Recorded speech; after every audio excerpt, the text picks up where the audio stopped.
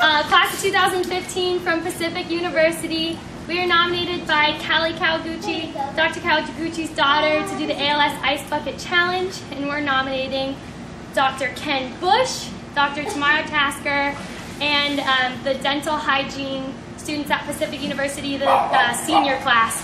Here we go.